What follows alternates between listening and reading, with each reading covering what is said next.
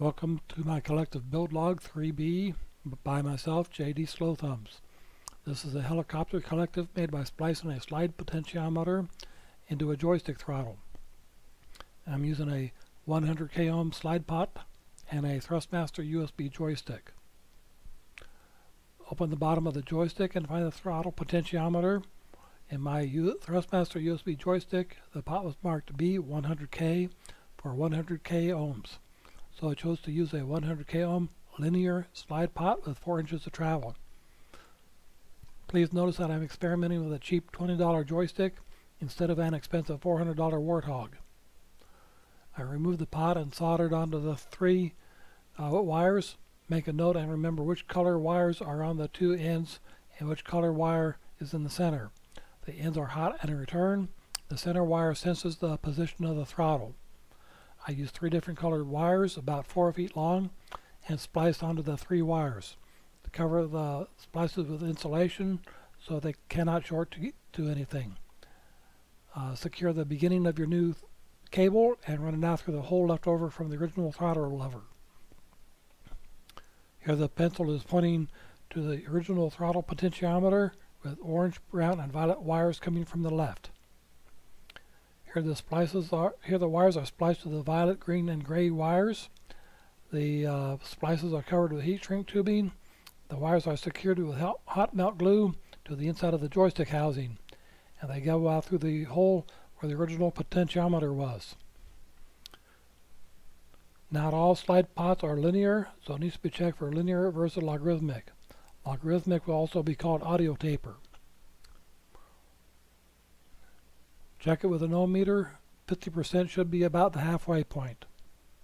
Here's a little carrier for the uh, collective, so the collective lever can drag the body of the pot up and down along the side of the mounting plate.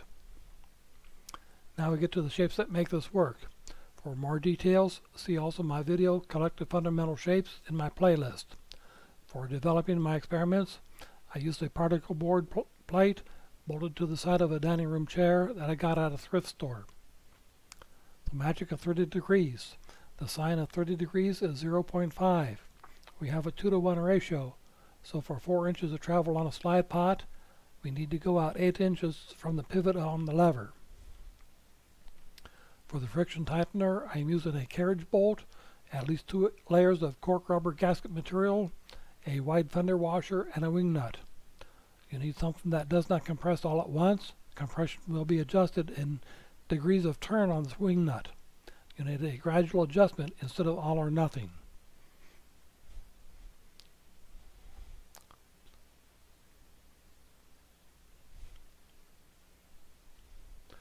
According to what I've learned on the internet, and your mileage may vary of course, during a typical helicopter flight, you adjust the throttle to idle and press the starter only at the beginning of the flight. Then you adjust the throttle to maximum and the governor takes over control of the throttle versus RPM. Then you are ready to take off and go flying. After la landing at the end of the flight, you throttle down. It sounds to me like four clicks with a mouse can take care of all your throttle and starter needs, leaving the collective lever as the active ingredient. Also, I have learned on the internet that for helicopters in Microsoft Flight Simulator X, FSX, that your throttle controls the collective and that the propeller pitch controls the throttle, but not defaulted to automatic. So, assuming a prop controls throttle is set to automatic, then a throttle controls collective only configuration might fly like a fixed pitched RC helicopter or quadcopter where you increase throttle to go up. Please subscribe. I plan to publish more in the near future, 2018. Collective build log 3B, this video. Collective build log 4B, using PVC conduit accessories with starter button and throttle knob. See playlist. Collective build log 5C, featuring a twist throttle and more functions on the grip. See the playlist. Coming soon, collective fundamental shapes and collective lessons learned, some that work and some that don't. I am publishing the parts list for the Digi key part number for the slide pot. Thank you for watching my video.